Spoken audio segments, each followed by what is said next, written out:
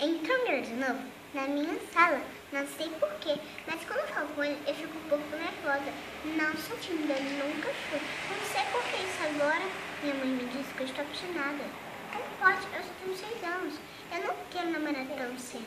Mas até que o Mauro é bonitinho. Se ele quisesse, eu namoraria com ele.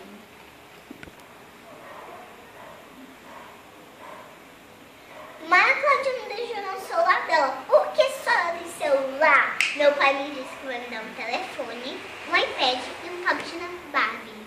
Mãe, meu pai mora longe. Eu quero morar com ele. Eu vou morar com meu pai. Você não vai. Mãe, a Cláudia me dá um chute.